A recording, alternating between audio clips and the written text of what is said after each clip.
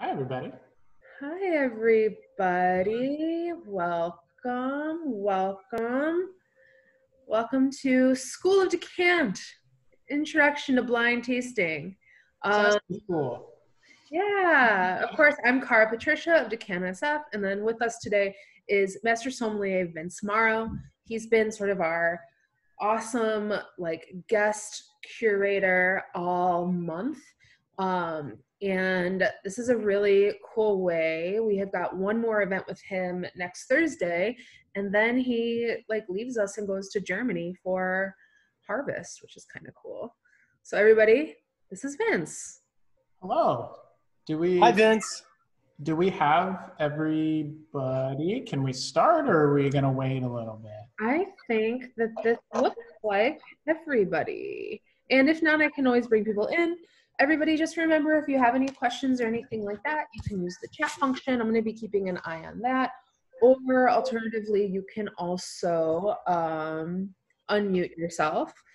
There'll probably be some like kind of like intense um, sort of things. So if you are getting lost at any part at all and need something repeated, please totally let us know.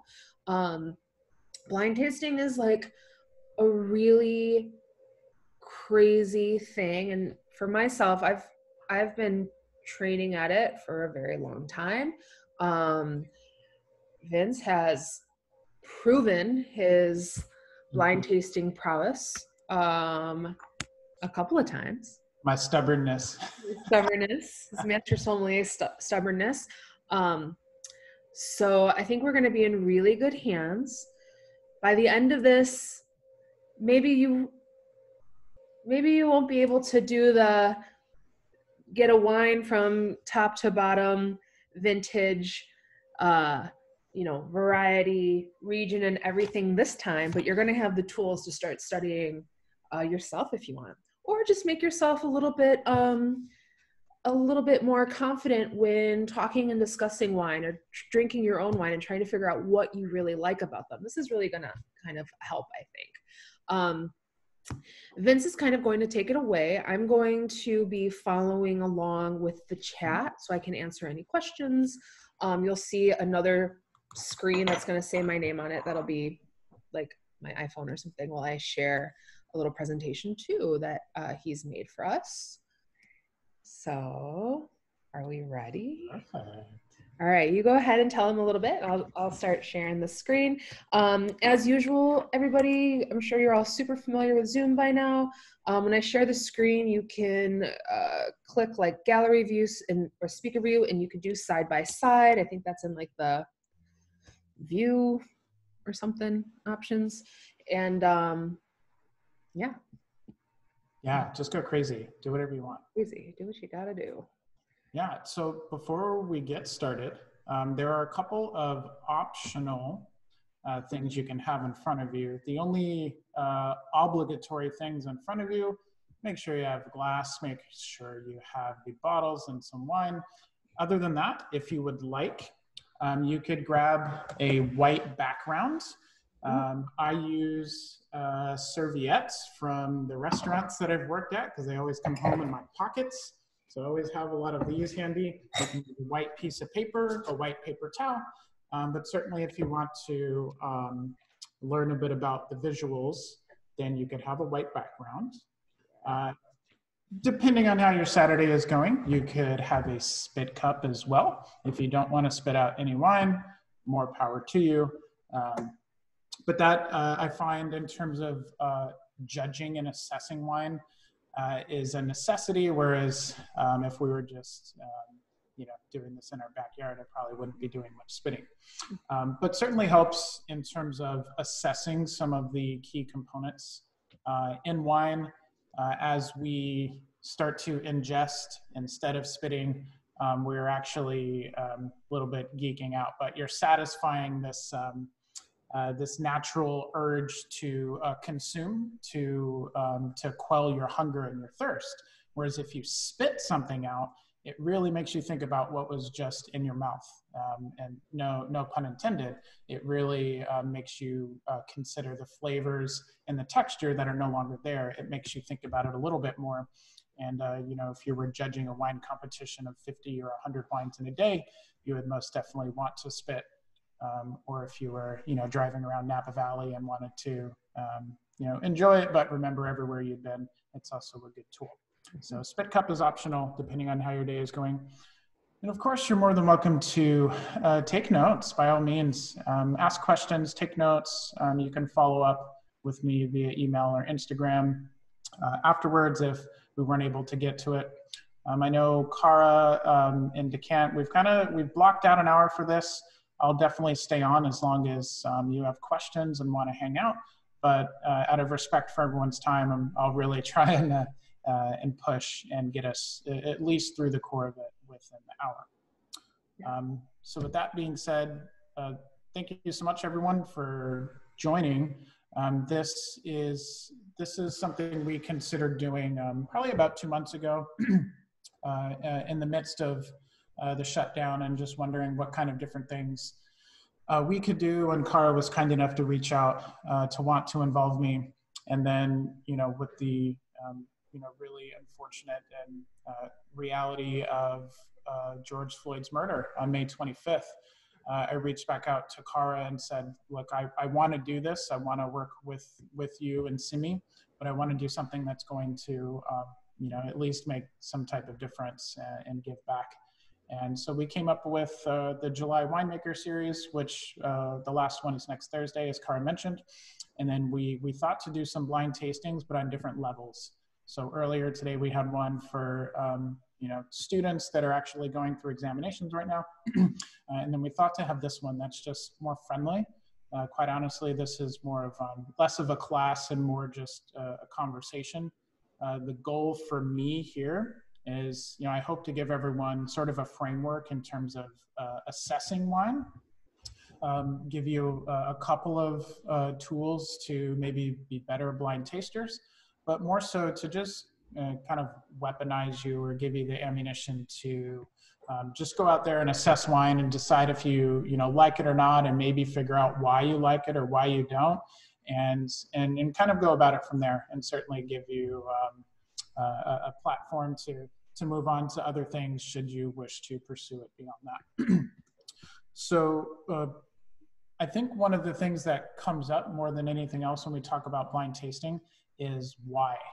You know, it really, um, especially with the Somm movie coming out, what was that, eight years ago now?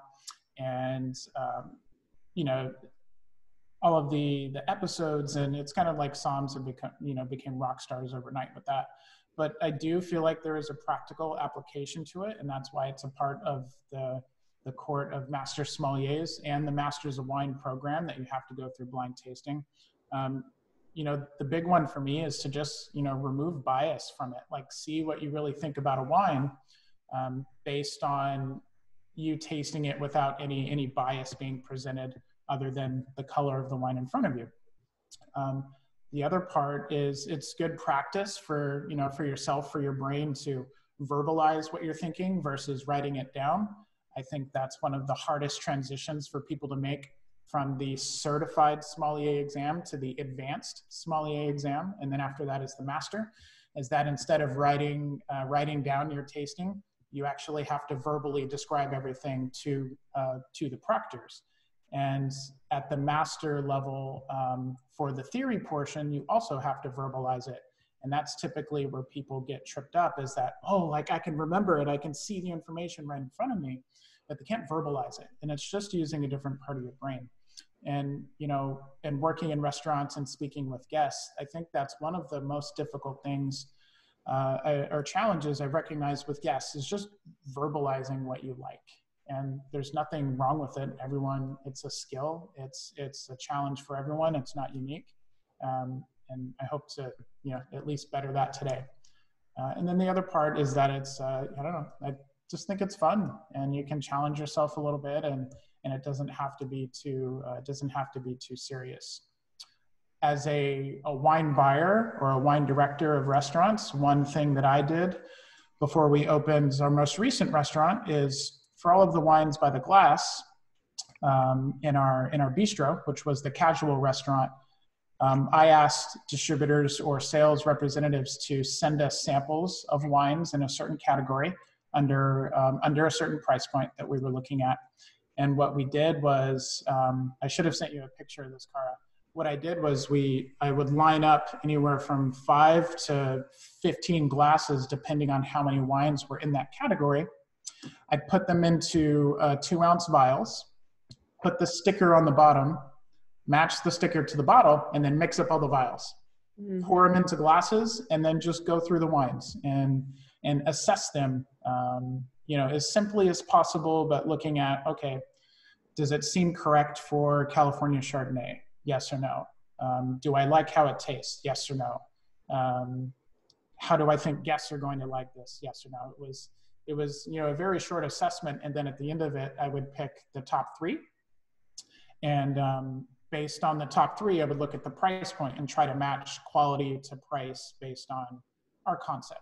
So it definitely, you know, came into play for me as a, as a wine buyer um, and as a wine director because I wanted to give people the best wine uh, for the money and not just pick the ones that I thought would be the best. I wanted to actually see what see what we could stand behind in terms of the quality. So there's certainly practical applications as a professional as much as there is um, as a student or just a, a casual consumer. Yeah. It's basically how we do it at Decant as well. Yeah, every Saturday we you know, we blind and we just talk about it, and I love that. It keeps me on my toes. It keeps me somewhat sharp, um, but it's nice to it's it's you know I think it's it's not just good for the business, but it's also good for the consumer. Um, so with that, let's actually get into kind of the basics of wine tasting now that we have our goals set out for us. Cara, if you could, yeah, the next one. So the three things we're looking at uh, in blind tasting, how does it look? How does it smell? How does it taste? And then during our during those three phases, we're gathering evidence in those three stages. And then at the end, we're making an educated guess based on information and evidence that's put in front of us or that we taste. And I say blind tasting is, I mean, it's like it's like an instrument. It's like any other skill. Um, you're not born with it. It's not, uh, you know, you don't come out of the womb a, a blind taster. And for me, I knew it was going to be the most difficult part for me because I'm very self-conscious. I get into my own head a lot psychologically, and you know, in that exam, room, you're you're very much by yourself. No one is speaking to you. Everyone's just staring at staring at their paper, writing what you're saying, and it's a very um, uh, it's it's much different than working in the service uh, service side of it, where you get to interact and kind of um, be more of yourself. So with that, the first part with visual, um, really the the main thing to take away from looking at a wine is I say the two most important are the color and then how intense is that color. And sure, there's other nuances, there's other little micro details that as you progress can become very valuable.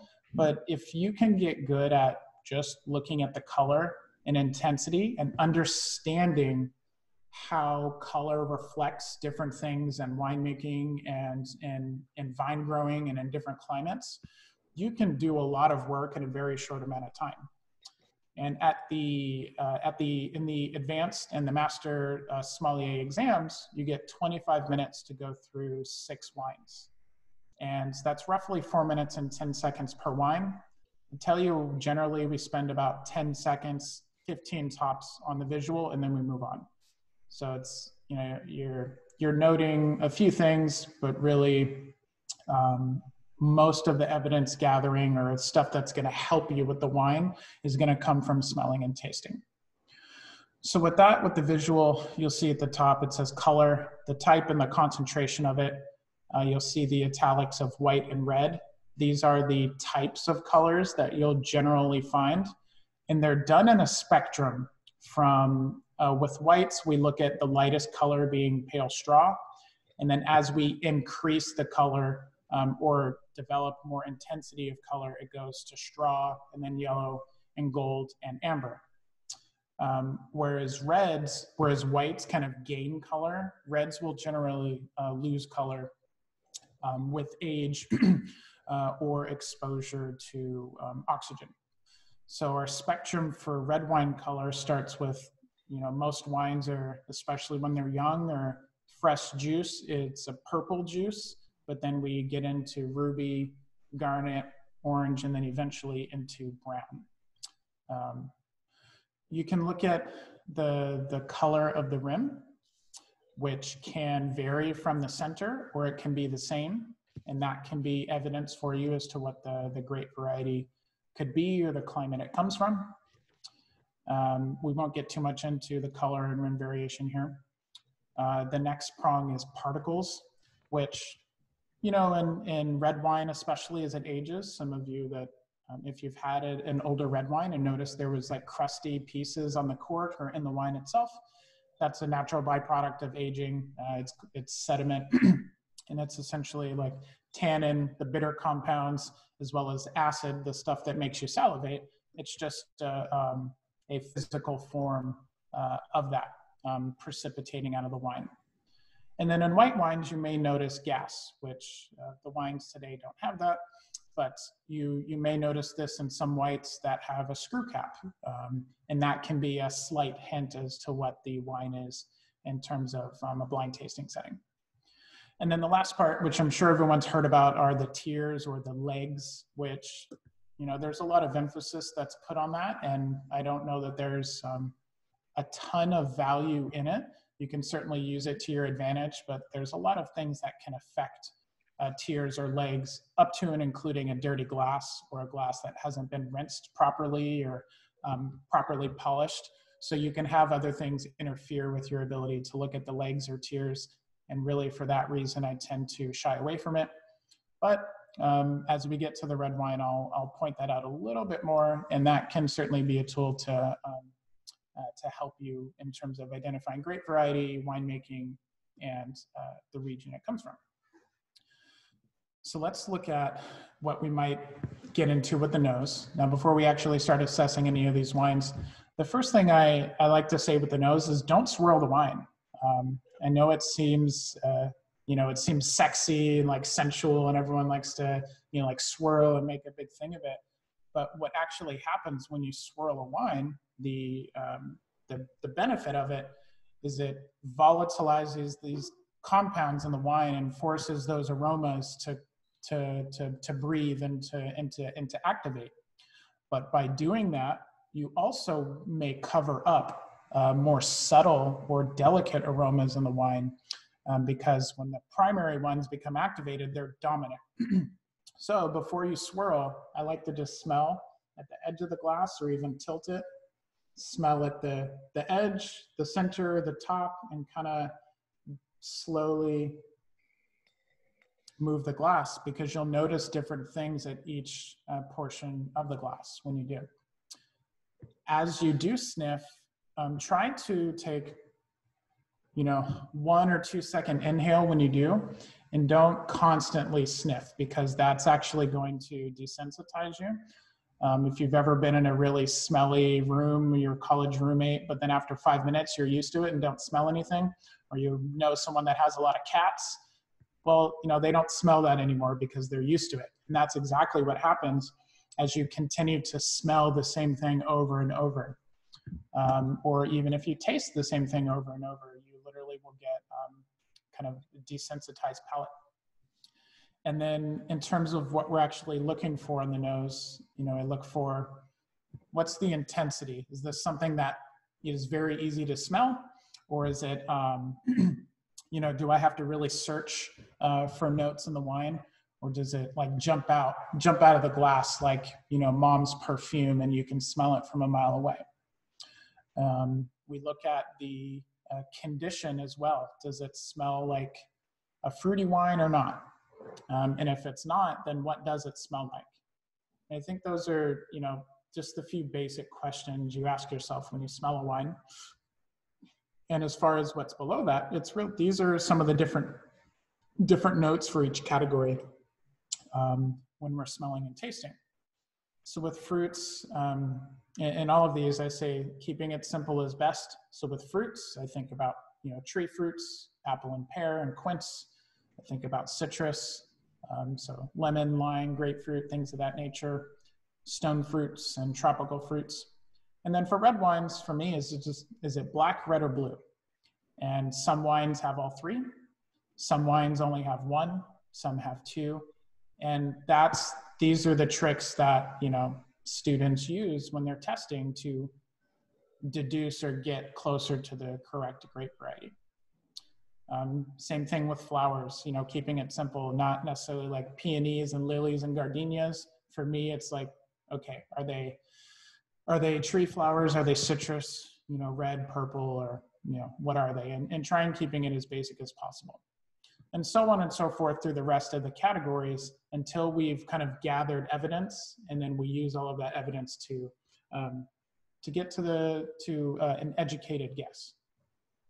So look at the, the palate, Cara. And the main thing for me, once we get to actually tasting the wine, is did anything change? You know, did I smell something and think one thing, and then as soon as I tasted, it's completely different, or it's a little different, um, or does it confirm everything that I was smelling? Uh, and then, you know, I mentioned earlier, uh, I encourage you know people that are st- um, studying or going for the exams, you know, make sure to spit the wine. It's actually um, can be kind of a nervous nervous reaction to not spit the wine and to get so caught up in it and you forget to spit and all the while you're becoming a little bit inebriated and you're losing your senses a bit. Um, it's it's kind of a nervous reaction that observed. Does uh, thing also help you sort of taste more? Kind of like gives you like a sort of almost like a retro nasal element as well. Mm-hmm. Yeah. So when you um, you know when you hear you know super geeky nerdy wine people like swishing wine in their mouth and making all those noises, well, you know there is some um, there is value in that because you're you're bringing those uh, aromas and compounds to the back of your throat behind your nose. It's called the retronasal. And what we think we're tasting when we eat food or we drink uh, a beverage is actually mostly smell. And it's all happening in your in your retro nasal, retro like olfactory behind your tongue as those compounds get volat- volatilized and go up through the back of your nose. That's when you start to sense most of the flavors uh, that we think we're tasting. Um, so for that reason, the only thing I put here on the palate is structure, which are the objective things that we can actually taste um, without you know being necessarily influenced by smell or we don't need to smell them in order to um, feel them so these are all sensations and um, for the sake of simplicity, we're going when we taste today, we're going to think about these um, uh, these sensations on a scale of one to five. And the first thing we look at, and probably the easiest to perceive, is is it dry or is it sweet? And when you taste wines, you're gonna sweetness is generally in the front of the mouth, towards the front of the tongue, and is best or easiest sensed as soon as you taste the wine the longer it sits in your mouth, the more saliva is, is being extracted and mixing with that liquid and starts to dilute sweetness. Now, if you're having a dessert wine or something that's clearly sweet, it's going to persist and last. But something that might be just a little bit sweet, like, say, uh, a Chenin Blanc uh, or a Riesling or a Pinot Gris from France, uh, you may lose that after a few seconds. Uh, the next part is, is the body of the wine. And that's you know, kind of how it feels in your mouth. And I think the best way to um, get acquainted with this or draw analogies is to think about the thickness of milk. So think about on like a one, uh, on a scale of one to five, a one would probably be something like skim milk. And then maybe a three would be low fat or 2% milk. And then, you know, a five is whole milk. Like that's full bodied, it's it's creamy, it you know feels dense and plush in the mouth. And and generally you want to, you know, okay, it's it's not whole milk, but it's not skim milk, so it's somewhere in the middle. and that's okay. You don't have to get it exact, but we want to give ourselves, you know, at least some evidence as we're tasting. Uh, the next one is acidity, and that's just that's a salivation reaction. So think about when you, you know, you take that shot of tequila and then you take a bite of a lime um, or lemon juice or anything that's really sour. Um, that reaction from your mouth is protecting your teeth.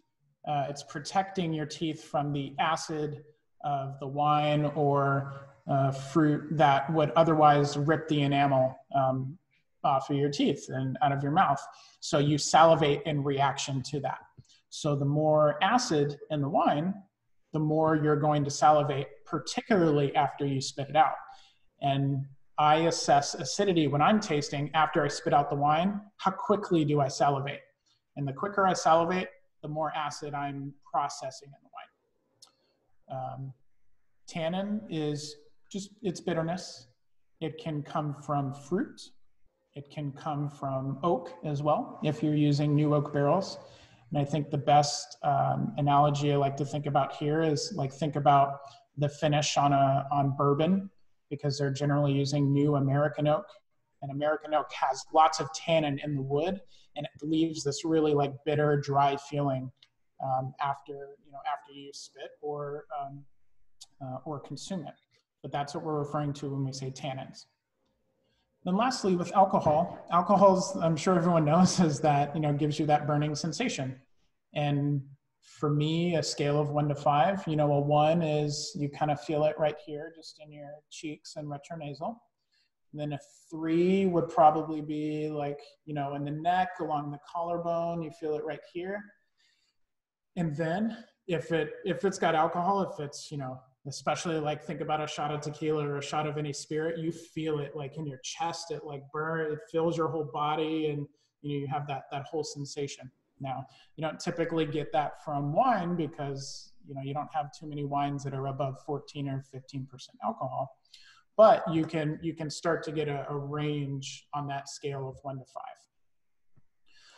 So now we're all going to practice a little bit and we're gonna we're gonna do the white wines and for the sake of comparison and practice, I'd like to actually compare um, wine one and wine two and go through that exercise um, of looking at the sight, of smelling it and tasting it. So Cara, if you could leave it on the slide for a while so that we don't reveal just yet.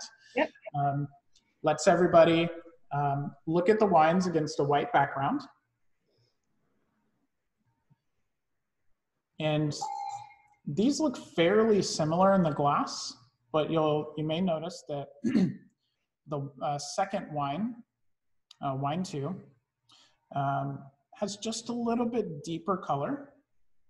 It's also got more of a uh, yellow, like gold hue, whereas the first wine probably more straw, pale yellow. So in terms of um, uh, you know intensity, we might think of wine one as having an intensity of three on the one to five scale, and then we could probably put wine two as like a four, you know, flirting with five in terms of intensity of color. And that alone tells you, um, can tell you, um, can give you lots of hints uh, wines that are white wines that are aged uh, in oak, like new, say, new French oak or new American oak, um, that intensifies color because as white wine comes into contact uh, with oxygen over um, over an extended time, it will actually deepen or darken in color. And uh, oak itself also has color um, compounds in it. So the longer alcohol, which is a solvent, uh, dissolves those compounds in the oak, it will end up in the wine and you will get a deeper color. And again, the analogy here is bourbon is clear when it goes into the barrel. By the time it's bottled, it's not clear at all.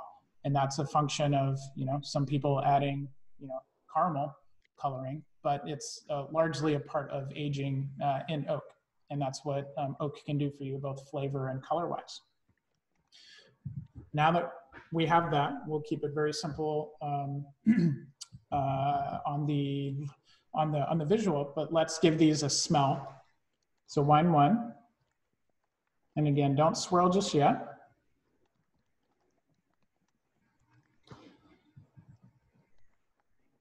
Uh, if everyone has the ability to participate, like you to put in the chat whether you think this is, is this a fruity wine to you or is it other things? So you have a, there's no wrong answer, but, and everyone's different.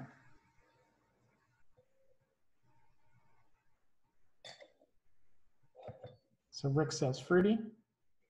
Brianna has floral.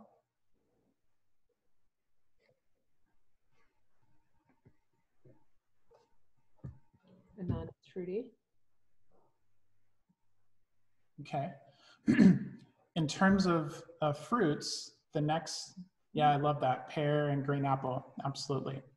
So now we want to think about fruits are don't just come as one flavor, right? They don't just they aren't perfectly ripe every time you pick them or get them from the store.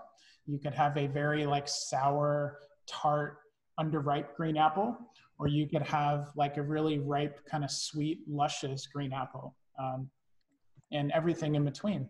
So, do we think uh, that in terms of the fruits, are these more like are they underripe? Are they tart? Are they ripe? or are they like you know rich and like raisinated have seen a lot of sun? So what does everyone think that said fruity?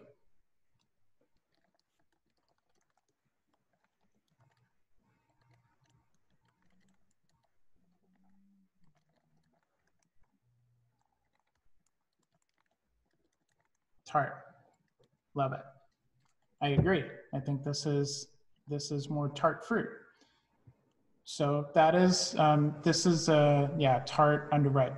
Absolutely. You know, this isn't like green apples that are falling from the tree because they've been there too long and now they're rotting on the grounds. Like these are green apples or pears that, yeah, you could probably eat them now, maybe for like a crunchy, hard texture in a salad. Probably not going to be super enjoyable unless you like all that like bright kind of green apple acid that underripe apples have. So we can use that in our um, uh, as evidence to point to where these grapes were grown in terms of the climate and perhaps how the wine was made as well. Now, generally, in say a climate, um, I think most everyone is on the call is in California, except except one.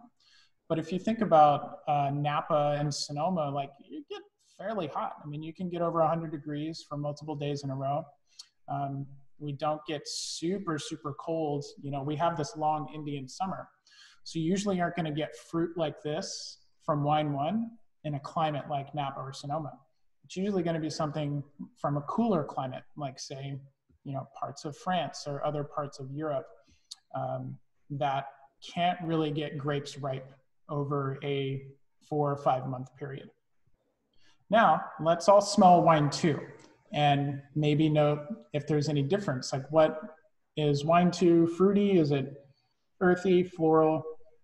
What jumps out? What's the first thing that comes to mind for anyone that wants to throw it out there on the chat? Or you can unmute yourself if you'd like. Really? Oak and butter. Ooh. Oak, butter. Love that. I love butter. this just t- brings me right back home.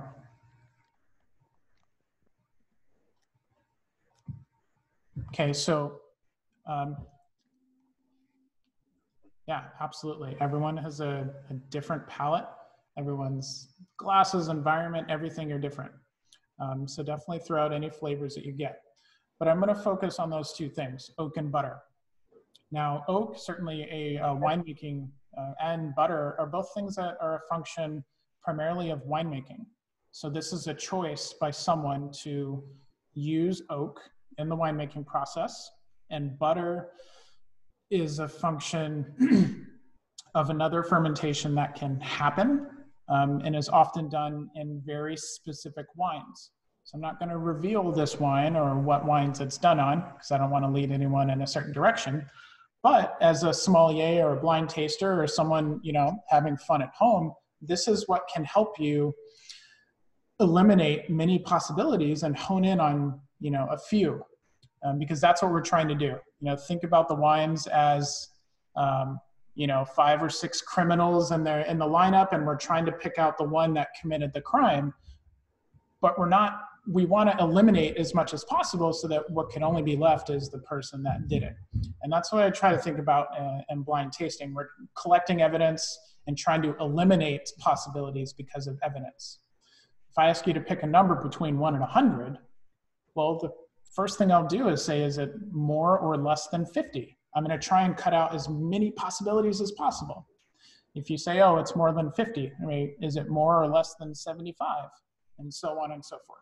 So it's it's a game of uh, it's a game of elimination, or at least that's that was always my strategy uh, going into tasting. Okay, so let's now that we've smelled them and just have kind of um, uh, the primary things that came at us. We have wine one that is tart, green apples, green pears, and then we with two we have oak and butter, and I'm cer- certainly there's more that will come out when we taste it.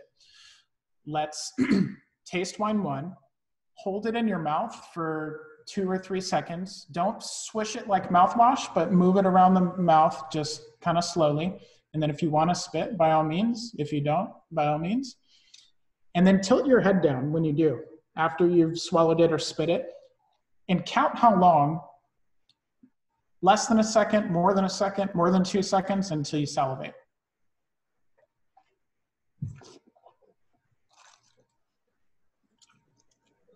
Cara, what did you get? Oof. I was I was salivating as soon as I spit that out. Yeah, I, I mean, that was a half second tops. I felt that up behind my ears. Does everyone feel that? Super acidic. Very acidic. Exactly. So that's when when sommeliers or other, you know, when winemakers or other people talk about acidity, that's acidity in wine. Okay. And acidity as grapes ripen start with lots and lots of acid, just like any other fruit. Um, when they're not ripe, they have lots of acid. Um, and they're also generally pretty bitter too, especially if you eat the seeds. And you know, if, if you ask the question why, and a lot of things in life, it'll it'll it'll lead you closer to the truth. And if we ask the question why. Why do grapes have acid in this case? Well, acid's not very fun, right? It's not. Um, it's not a very fun thing to consume, uh, uh, particularly if there's bitterness with it. This is how grapes survive. It's how they protect their seeds until they're ready to eat and they have the best chance possible to uh, reproduce. If a bird or a squirrel or something comes and eats it, you know, uh, leaves the seeds somewhere else uh, when they're done with it, those seeds have a better chance of survival. So acid is a kind of a protective uh, method for the grape in addition to tannins, and we'll we'll get into that um, when we talk about the red. but also, um, each grape has different levels um, when it is when it is fully ripe. There's some grapes that will still have lots of acid, and others that won't have very much at all. So just based on that assessment alone, that one thing, it tells us a lot about what this wine could be. We haven't even talked about flavors or you know what the alcohol is or if there's oak or anything else but just because there's lots of acid that helps us a lot with this wine. Now um, sticking with this what is um, let's taste it again and get a feel for the body. Is this skim milk? Is it 2% like uh, a three out of five, or is this whole milk five out of five, like full lush texture?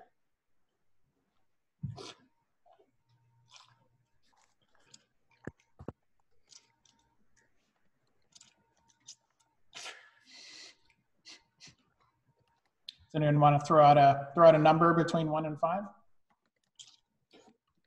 One being the least, five being the highest. It's like a one or two percent. Yeah. yeah, rice milk, soy milk, coconut. Yeah, I love that. I mean, this is like almost like um like goat's milk for me. like very like like sour and lean and like yeah, I think we're in the you know, it's definitely not more than 3. And I, you know, that gives us a lot of information. Mm-hmm. Um, I think absolutely, depending on how you react to tart wines, this can absolutely feel like one.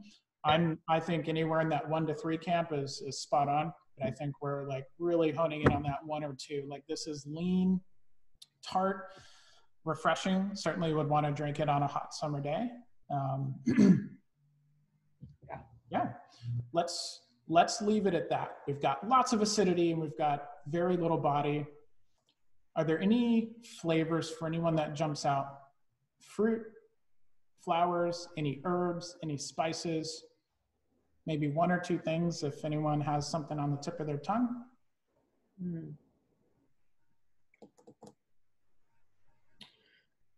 Fruits, non-fruits, spice, herbs.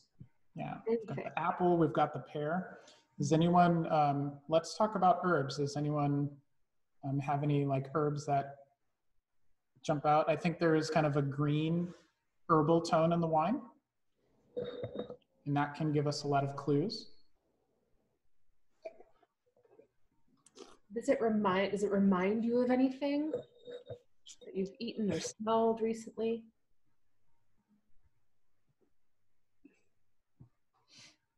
Tarragon. Ooh. I love that. Yeah, it's very like, yeah, like fresh, not like resinous herbs, but like, mm, Mhm. Like watercress, crunchy, mhm. green herbs. Um, maybe almost like a little bit of like jalapeno or green pepper, bell pepper, just a little bit. Does anyone like like spicy margaritas, Mhm. bell peppers, pepper salad, stuff like that? So this wine, um, it has a compound in it, and we'll we'll come back to it after we taste wine two. But it absolutely has like a jalapeno green pepper element, and that is also a function uh, of a compound that you can find in grapes. If you were to taste this grape in the vineyard, it would taste like jalapeno and bell pepper. And it's it's something that exists in the grape before it even gets turned into wine. And when you get good at it, when you get enough practice at identifying these types of compounds, just noting that in this wine is going to eliminate a ton of other possibilities. And again, that we are using that with the the tart fruit and that like kind of tart acid and then that lean texture, that skim milk texture we talked about, and it has green pepper notes in it. We're in very, very, very few places in the world and very, very, very few grapes that this could possibly be. So, You're gonna notice this every time you ever have a wine like this ever again. You're oh now that you're learning to recognize it, you're always gonna recognize it. When we talk Yeah. about citrus too, we can't forget to say how much like lime and lemon there is in this too. yeah, it's very, um, I mean, we didn't get too much into the citrus or stone fruit aspect of it, but like peach pit and like white, underripe peach pit, um, lemon and lime zest, a lot of like white grapefruit, things like that. Um, but all, regardless of the fruit that you call out here, I think the condition is most important. And again, it's tart, kind of sour fruit, underripe fruits. We're not talking about, um, you know, rich, sweet stuff. So we're going to put wine one on the back burner for now. Let's go to wine two. Let's taste it and let's do the same thing. So hold it in your mouth for a few seconds, spit or swallow, depending on your uh, preference, and we'll go from there.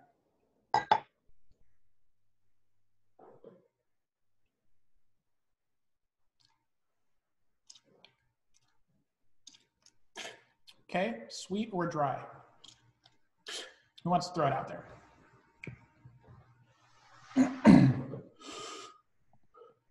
Is this sugar or not sugar? We think uh, on the sweeter side. Okay. Okay. Slightly sweet. Okay. And we're gonna, we'll we'll come back to that too, because I think there's another thing at play. Now, is this, is it um, one through five? Is it skim milk, low fat, or whole milk? Especially in comparison to the first one. I saw a hand come up on an non-screen with a with a big five. Mm-hmm. Mm. Rick says four. Uh huh. let's say what it's not. It's not one. Yeah. It's not skim milk. It's probably not even low fat. Like this is, you know, it's four or five.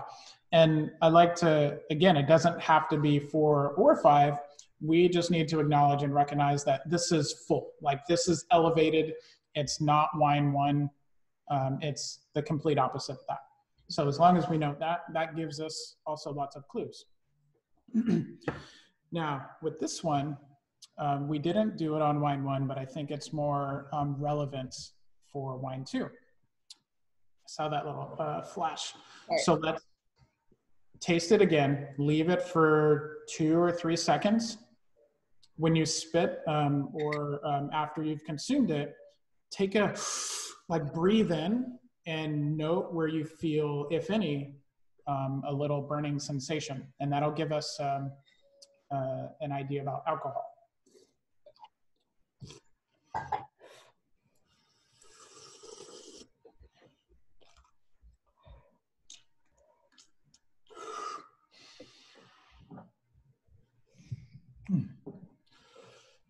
Where are you at, Cara? I think I'm at a three and a half, four here. Yeah. Yeah, it feels a little warm in the back of my throat when I do that breathe in. You can kind of feel it going down your esophagus a little bit, a little bit of a, a light burn. Yeah. Um, yeah. Like right here, you know, top of the sternum. I definitely, I feel it like in my ears and like my throat and all the way down. I breathe in pretty hard. I don't know about you. Um, but it's, I'd say it's, it's more prominent than wine one. For sure. Let's, let's go back and taste wine one really quick. Do the same thing and see the difference, if any.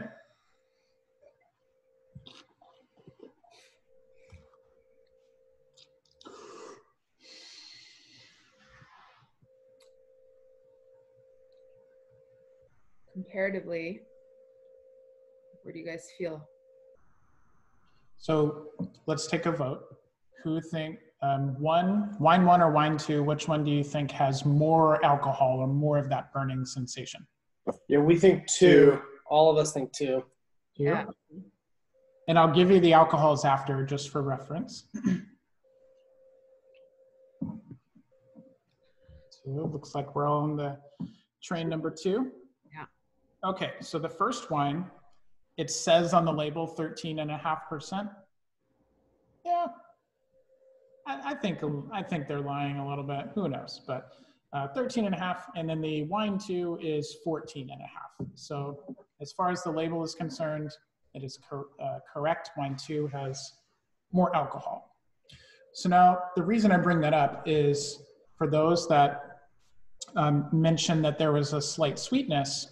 Um, alcohol is a sugar, right? So particularly in wines like say a Napa Cabernet um, that's richer and fuller in style that might be 15% alcohol or more. On paper, like technically that wine might be completely dry. There is no sugar left in it. But because of the elevated alcohol, alcohol is glycerol and it has this coating kind of sweet type of um, sensation on the palate. It touches a lot of the same um, uh, receptors. So even though the wine uh, is dry, there's you know there's no sugar in the wine per se. Um, it feels sweet. It's also a function of the fruit um, feeling the fruit being riper in, in a warmer climate. So you can use that to your um, uh, advantage in blind tasting, but also you know when you're out at a restaurant and we'll we'll review the reveal the wines in just a moment. Um, but when you're out at a restaurant and you say, you know, I I want this grape, but not one that's really like buttery or oaky or you know sweet or fruit forward, then that kind of gives um, uh, sommeliers uh, or whoever might be helping you a little bit of a tool to to help you. Um, or quite frankly, when you're tasting yourself and decide what you like or not, maybe you know a little bit more about that why. So, does anyone want to take a stab at wine one? We think it's a Sauv Blanc. Oh, Is that, the, is that Anon and crew? Yes, Okay. it is. Let me. Yeah, uh, we think Sauvignon Blanc, and then there was another gas, maybe. right? Maybe Pinot Grigio. Uh, yeah, and then the other- probably- Probably Or- Sauv Blanc. Or you said a Chenin Blanc. Yeah, so we're split: Sauvignon Blanc, Chenin Blanc, and Pinot Grigio. Okay. Absolutely. Covering a lot of territory. we're, We're- we're, just- we're gonna guess them all, and one of us will be right. No, that's great. And How you know, about, how about uh, Rick? What do you think? I'm gonna go say it's clearly a white wine. Perfect. Absolutely. You are 100% correct. Okay, so before we reveal one, there is, um, we mentioned that green pepper jalapeno element. so these, this is a compound called um, methoxypyrazine or pyrazines for short. Pyrazines are compounds that exist in um, a certain subset of grapes, most of them coming from Bordeaux. So think about Cabernet Sauvignon uh, Cabernet Franc, Malbec, uh, Petit Verdot. Um, Merlot has a bit of it too. I feel like I'm missing one, but that's okay. Um, Sauvignon Blanc uh, is also in that family. Sauvignon Blanc is one of the parents of Cabernet Sauvignon. Um, but my point is, pyrazines are a, a method for these grapes to defend themselves from predators before the seeds are ripe. So if you taste a Sauvignon Blanc grape, which that is what this is, um, you in the vineyard you will taste pyrazines, and you'll note under the herbal slash green uh, part of the tasting note or kind of general tasting note is green bell pepper. And if you can pick out this compound in red and or and white wines, uh, it can eliminate so many um, uh, possibilities for grapes that don't have that compound in terms of blind tasting. It's also good to know if you if you like this wine and you like this flavor, or you don't, if you absolutely abhor like pepper taste in your wine, um, when you're ordering Sauvignon Blanc, you you could describe that to um, you know the wine buyer at the retail shop or the sommelier working on the floor at the restaurant and to say, you know, I'm, I'm, I like, I enjoy Sauvignon Blanc, but I want more of the tropical citrus flavors that come from a riper style and not so much of the bell pepper that you might find in Sancerre, which is where this wine comes from. So I know everyone has the, the bottles uh, in front of you, but this is um, definitely one of the more classic and prominent producers in Sancerre. So this is a region in the Loire Valley of France. It is certainly the, the home of Sauvignon Blanc, um, you know, in terms of setting the bar for the rest of the world. I'd imagine uh, maybe everyone's had some experience with New Zealand Sauvignon Blanc. That's 100% another part of the world that has taken on to the grape in the past, you know, 40 to 50 years and the, you know you certainly see some here uh, in California, but it really you know the the home base for it is Loire Valley. Imagine this, all that acidity and tartness, and just how refreshing it is, and then you have this with like really tart um, goat cheese, which is you know pretty prominent in Loire. Imagine this with really herbal pâtés and things like that, and you get a sense for you know the cuisine to go along with the food and why Sauvignon Blanc is so is so popular. There. So this is a very classic example of an old world Sauvignon Blanc.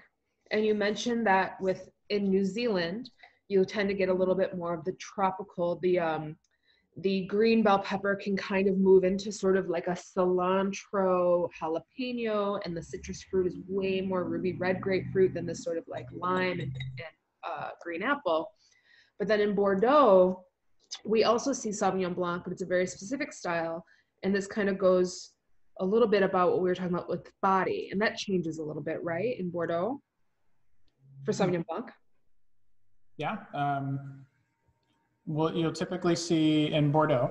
I'm sure everyone, uh, if, if you haven't heard of uh, Sauternes, which is um, a very classic dessert wine uh, from Bordeaux in France, um, they will use Sauvignon Blanc as well as another grape called Semillon uh, to blend together. They also make dry white wines, which are becoming more popular um, even so now, because our generation uh, you know, really isn't drinking a lot of sweet wine. Uh, there's nothing wrong with that.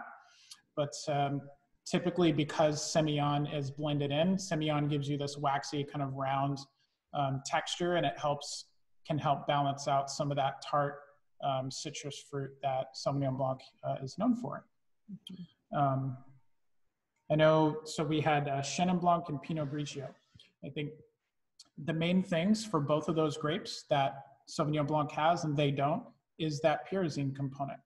Um, you won't find, you know, bell pepper and you know, these types of flavors in Chenin or Pinot Grigio. Um, Chenin Blanc, at least, is also from the Loire Valley in France and certainly still has that puckery, like acid, that tart flavor. Um, but oftentimes you'll find at least a little bit of sugar in Chenin Blanc because it has so much acid. So acid and sweetness uh, balance each other. Um, if you ever uh, measured uh, Coca-Cola for the amount of sugar in it, um, if they didn't put acid enough acid in there to balance it, you would vomit after drinking Coca-Cola because there's so much sugar in it, and that's you know it's um, um, that's not a joke. There is uh, there's quite a bit in it. Um, so it's it's uh, it's a way for um, sometimes winemakers will actually add sugar or add acid in to balance these things, you know, to make the wine more appealing. And certainly we see that with juices and things like that on the market outside of wine. So it's not um it's not unique to just wine. So Okay. Sauvignon is an interesting grape that can have this light, bright tartness. It can have a big citrus quality. It can be aged in oak. It can be sweet. Um, in California, sometimes you'll see all three styles available. You'll see the sort of this sort of style and producers that are trying to make something a little bit lighter, more refreshing from people like Honig or Heights or Saint Supéry. And then you have the other style that you might see called Fumé Blanc, which is made more in this white Bordeaux style that sees oak, and it tends to be a little bit, little bit fuller bodied. Um, but Sauvignon Blanc is is very, very versatile. So keep trying them. But the one thing, like he said, you'll always find is that tart citrus and that some form of green bell pepper. It's how you'll always know it's Sauvignon Blanc. Yeah, so someone's putting wines in front of you and you're blinding, that's a good way to uh, to eliminate possibilities. Um, and as Cara mentioned, in a warmer climate like we have in say Napa, it's a stylistic choice because we have such a long growing season that you can make this style if you want to.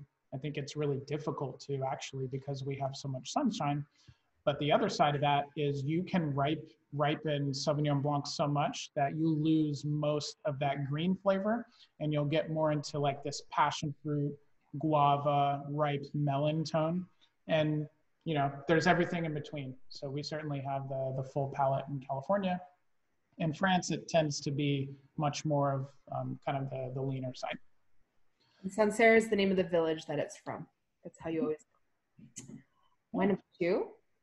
Well, it was, yeah, so we, yeah, Chenin Blanc, Pinot Grigio, just to recap, don't have those, um, don't have those compounds and um, happy to expand more on that via email or at the end. Um, but there's, there's a lot of things that'll help you uh, separate those wines apart.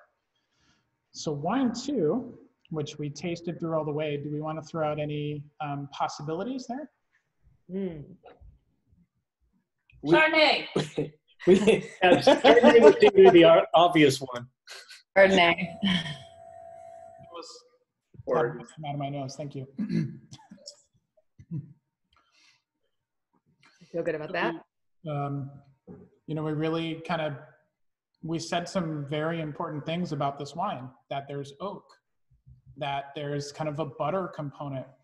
Um, I think we could talk all day about just the ripeness of the fruit and the spices that are here, and like cinnamon and like cinnamon and caramel and toffee and all these wonderful things. But the fact that we have new oak in this wine gives us very, very, very few possibilities for where the wine could come from because um, first and foremost uh, french oak is expensive i mean you have barrels that fit um, I mean, 225 liters roughly, which isn't a ton of wine. That's maybe 25 cases, 300 bottles. You do the math. But uh, I want to say, I th- think Cara is from Dave Yoshida. He had mentioned to me because he has worked a few harvests and he said a barrel of French oak adds about three or four bottles to the, to the, three or four dollars to the cost per bottle, like just baseline.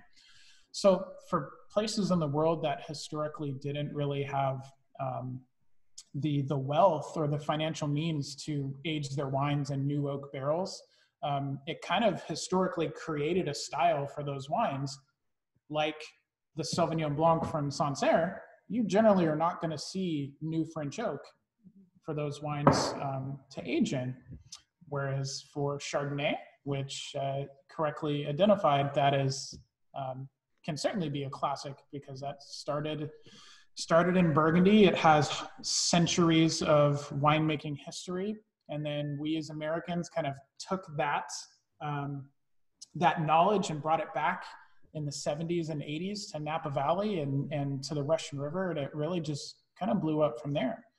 So you'll notice the bolded section of these notes um, right in the center. Uh, malolactic notes, butter, yogurt, cream, the, the bottom oak, um, toffee, caramel, butterscotch, baking spice. Um, this, these are typically very polarizing flavors for people. So if you're in the I don't like Chardonnay camp, I find most uh, guests that uh, say that are generally people that are um, averse to these types of flavors. But it's not really the fault of Chardonnay, it's the impact of the winemaker. Chardonnay is a very um, is a fairly neutral grape variety. It doesn't give you a ton of you know flavors on its own, which is what makes it the perfect kind of blank canvas for winemakers to do these different things to to create their own style. And oak uh, is certainly one of them. uh, malolactic. So this refers to another fermentation that can or doesn't have to happen, uh, but it can happen in wine where you're converting uh, malic acid, which is what you find in like green apples, to a lactic acid, which is the type of acid you find in milk. Typically makes the wine a little bit softer and creamier um, and not as harsh on the palate. So it makes that uh, Sancerre, this, you know, probably didn't go through malolactic, but if it did, it wouldn't be as, you know, sharp and green. um, so these are uh, two of many techniques winemakers can use to kind of impart texture and style uh, into Chardonnay. Um, this is, I'm sure everyone's revealed, so David Ramey is Russian River Valley Chardonnay, the 2018. I mean, David is, you know, iconic California winemaker, has, has, has been around the block in terms of um, both in France and in California in terms of honing his winemaking expertise. And, you know, I think this is like 100% a perfect, like classic example of Russian River Valley Chardonnay.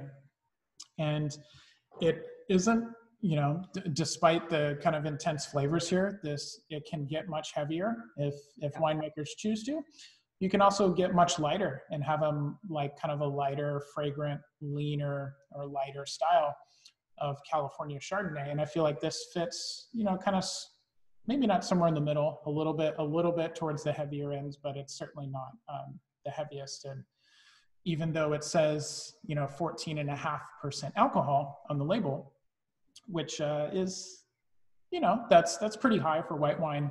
It doesn't you know feel like it it doesn't like it isn't harsh and burning. It feels all very well balanced and integrated into the wine. And that's just a um, uh, a nod to david's expertise as a winemaker.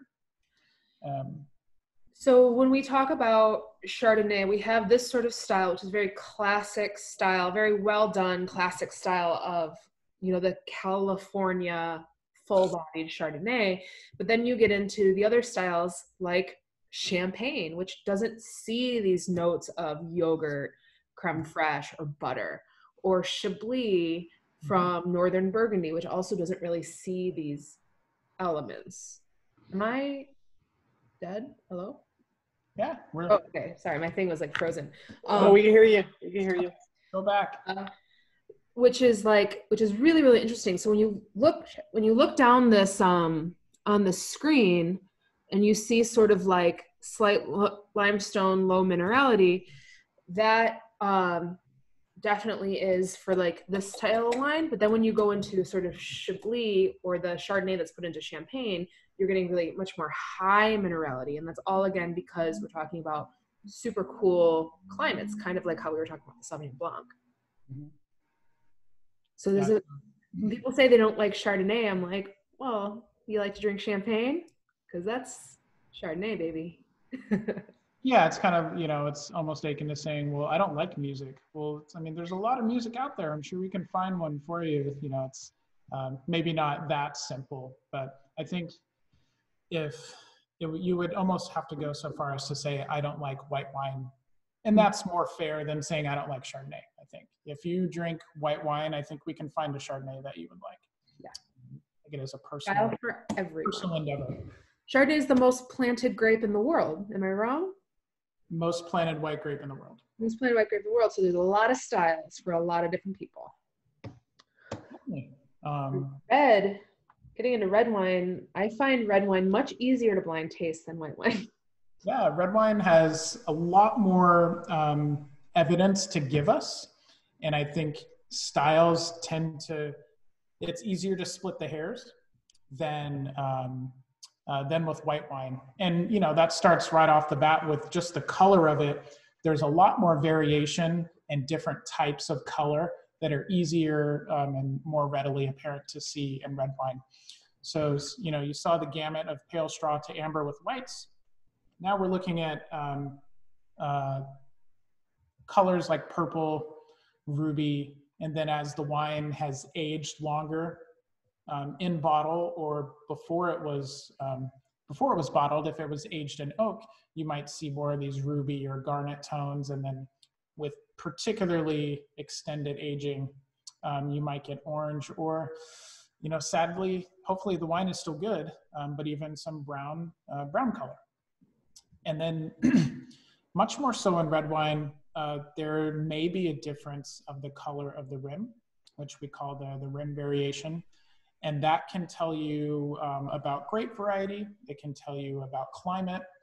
Um, it's really, there's, there's a whole mix of evidence that we can get from that. Um, in terms of particles, as I mentioned earlier, sediment, which is something that's uh, just a byproduct of, of aging. Um, sediment may form uh, it happens throughout the winemaking process. Winemakers are actually letting sediment fall to the bottom of the barrel. They take the liquid off the top. That's called racking, and then they'll put it into the bottle from there. But you'll still see that happen in the bottle as wines age. So if you've ever had a 10 or 20 year old red wine, um, you may notice some sediment. Uh, it's harmless. Um, certainly, if you are enjoying aged red wine, uh, encourage you not to shake it up before you open it, but you know, if you enjoy it, by all means. Um, it's more of an aesthetic thing. And then what really comes into play more so with red wines are the tears or the legs. And you know, as you roll the wine in the glass, or and you and you look at it through a background, you can see the tears as they fall. They may have some color attached to it, and if there's color in the legs, that can give you a clue as to, you know, the amount of extraction or type of climate um, or grape variety. So it doesn't all point to one thing, but it can give you some some clues. So let's um, let's smell this. And does this? Everyone can just give a quick vote. Is this uh, a fruity wine or you know other stuff? Yeah, we think other other stuff like funk. It's kind of like funky. Mm-hmm. Mm, Kind of it's kinda smells uh, like amaro to me. Mm. Like all those like really wild like spices and herbs that you get in amaros. I think we could pull fruit out of here, absolutely, and we're going to. But um, I don't think fruit is the dominant factor here, and I'm glad we're all on the same page. So why don't we go through the other categories since it's our last wine and you know what do we get? Does anyone pick up flowers? Any types of flowers? And just think, you know, in terms of red, black, purple, are they fresh? Are they dried? Lots of warming spices. Yeah, they'd be dried. Yeah, if anything, dried. Red flowers. Kind of smoky, dried. yeah, kind of like brushy, dried flowers. so that can give us an indication to the grape and or how it's aged. What about herbs? Are these, do we get any, are they more like French countryside herbs? Are they more like Tuscan Italian herbs? Are they dried? Are they fresh? Mm. Are they boiled? Oregano. Fennel. Fennel Italian herbs. Italian. Love it. I, I get I get like something peppery, like just black pepper. Mm-hmm. Yeah, it's totally like a like a peppery, it's like chili flake. Tobacco. Hmm. Tobacco. Tobacco. Love that. Now, uh, in terms of earth, I say organic and inorganic. Um, and this, you know, it can apply to white wine, but has more to do with reds. Organic earth is thinking of like living soil, like compost and, and leaves and forest floor, stuff that's kind of constantly changing.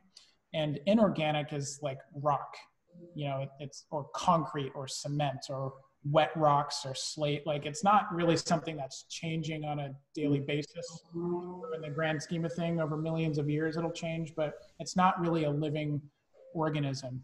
Um, so, do we get kind of any of those things here? I'd say maybe some organic earth. What do you think, Cara? Yeah, definitely some like uh kind of like composty soil. And with that, I'd also say like dried mushrooms. or some I put that in with like that sort of organic earth sort of characteristic. Not quite forest flora, but definitely a little damp soil stuff is growing. Totally. So when we look at when we look at earthen wines, the intensity of it. I mean, I I'll go ahead and say I think we're probably about three to four, like in terms of the amount of earth here, and that can help us, you know, decide where we might take the wine. You're generally not going to get incredible like a lot of earth, uh, especially organic earth, in say California or Washington or Australia or South Africa, these places that we classify outside of Europe as the, the new world, so to speak. Whereas in Europe, or what we say is the old world, it's you know fairly common to to get wines that might be driven more by earth and herbs and flowers than they would be by fruit. So mm-hmm. that's the whole point of asking does everyone think this is a fruit driven wine or something else? If it's something else, okay, we might be in the old world. Let's really explore that a bit more. So definitely some organic earth.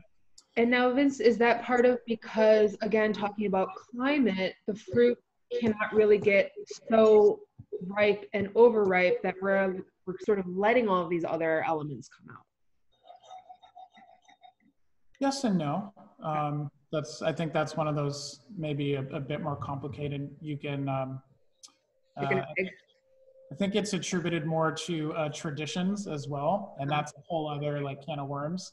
Um, I- would say it has more to do with winemaking tradition and less to do with um, uh, less to do with the climate per se. okay, very cool. Um, so you know, wood. I don't. You know, does anyone get like new oak? So new oak in like say the white wine and the Chardonnay presents itself as like vanilla and butter and caramel and butterscotch. In red wine, it tends to be more of these can be like dark, toasty, baking spice, um, sometimes even like barbecue or char or smoke. Does anyone pick up much of that here, or do we think it's kind of other spices?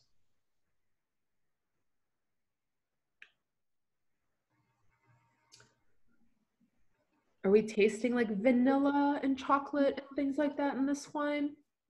We think other stuff. Yeah, we think others. Other, yeah, not that. we don't know. We're kind of struggling. No, that's good. Um, believe me, I've said out loud in tastings in my exams that, okay, I don't know what this wine is, but this is what is there, you know, and just kind of push it back to, okay, I'm only looking at evidence. And you're absolutely right. There's no, I don't think there's any clear evidence here of toast and smoke and char and chocolate and coffee, all of these things that might indicate to us that there is new French oak or any type of new oak on the wine. Um, I think we, you know, we had already kind of mentioned some spices earlier, and we won't get into uh, into secondaries because I think that's, you know, that's just that's straying away from the topic. I want to taste the wine. I don't know about you, so let's give it a taste and know that while we're tasting red wine, we also have to factor in much more so the tannins or the bitterness after we swallow the wine or after we spit it out. So give it a taste.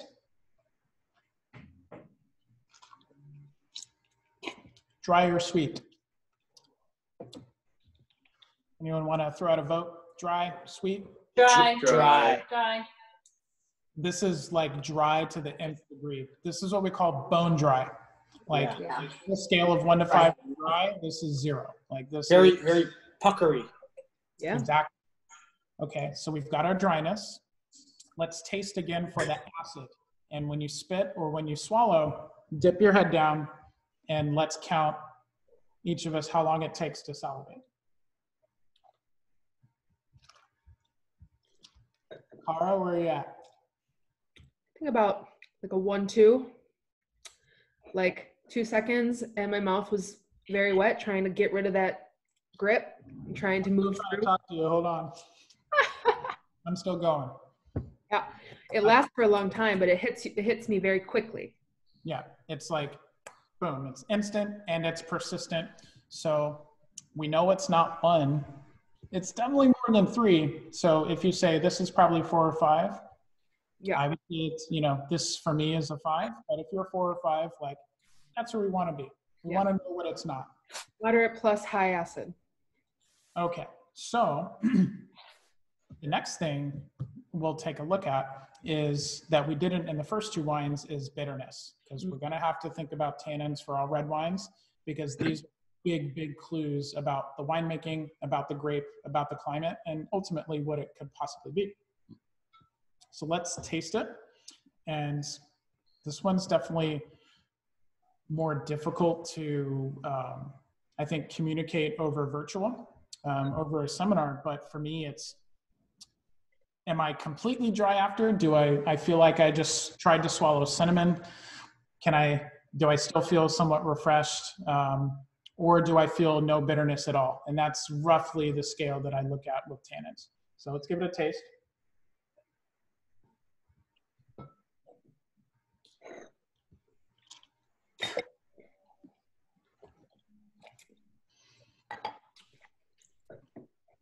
yeah I think some tannin. I feel it like mostly on my tongue, like a little bit on my teeth. Mhm. So, um, for reference, Kind of feels like sucking on a tea bag. It's Mhm. very drying. yeah, and if you know, I'm glad you said that. A great exercise for tannins, and you know, do this next time if you're a tea drinker. Um, particularly for black tea, you know, do a do a couple of cups. Steep one for 30 seconds. Steep one for a minute.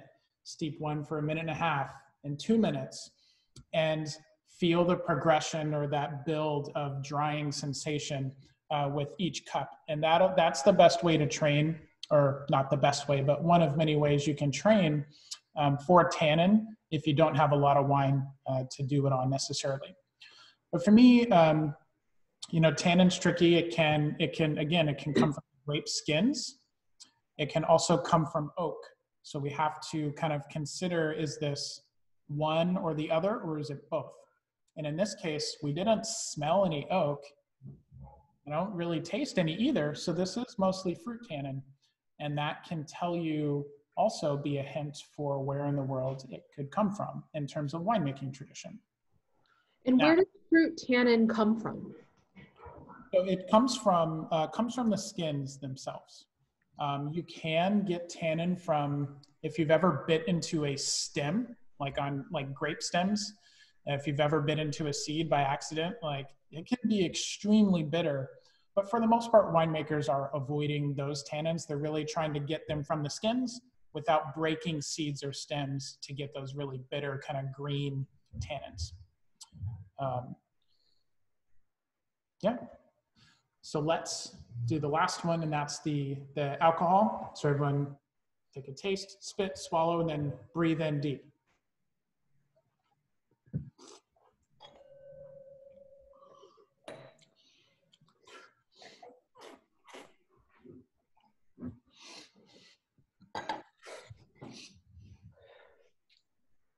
And in this case, we can use the white wines as our barometer.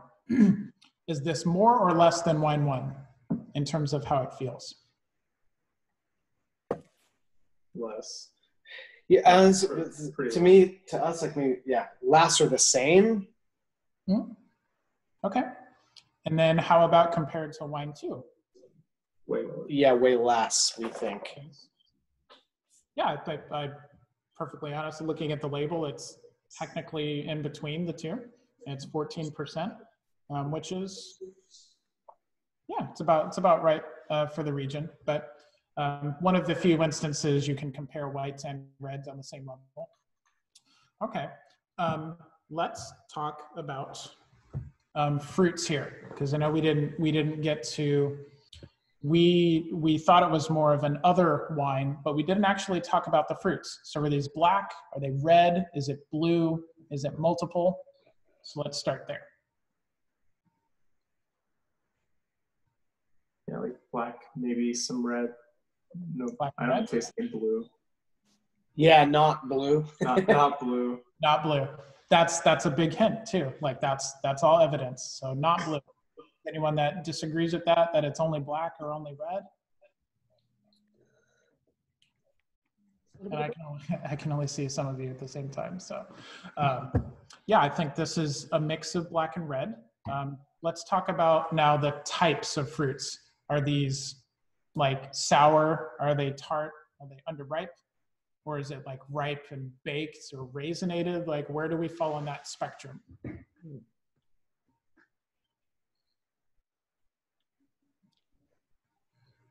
Cherry. Yeah, we think like sour tart. Sour tart? I believe. Yeah. Yeah, tart cherries, red Addition? We all Tart feel about that? Yeah. I think I think sour is is spot on here. Like sour red fruit, and that's you know that's a huge clue for this group. Not too many. Um, um, I should say it kind of takes us out of the you know riper, warmer climates. It's really hard to get sour fruit unless you're doing it intentionally um, in a warmer, sunnier climate. You know, this is not generally something you would find in, say, like again, California or Washington or something like that, um, or even warmer parts of uh, Europe, like say southern France. Like it gets pretty darn hot there. So, with that being said, we've got all of our evidence. We've got fruit, we've got flowers, we've got herbs. We know that it doesn't have any new oak on it, at least. Does anyone want to throw out a guess? It's our last wine, so everyone.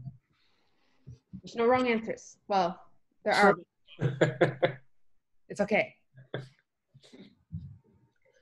I learn the most when I call things wrong or I make mistakes. And it sounds cliche, but it's 100% true. You learn nothing when almost nothing you get it right.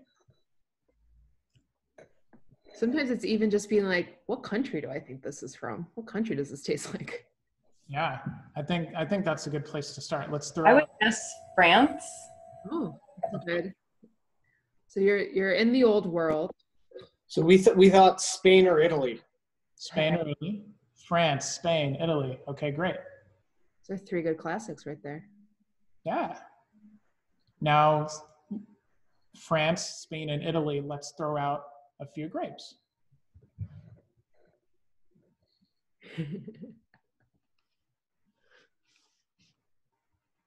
What? Let's start with uh, let's start with France. What are some grapes in France? Well, I think that Pinot Noir is a grape that's red fruited. It can be drying. It can be a little bit more earthy in France. Mhm. I think from Spain we could throw in like Tempranillo because I think it's also red fruited, has some black fruit, Sour. sour, earthy. So that fits the bill. What about Italy? I feel like I feel like you guys know Anna. Good.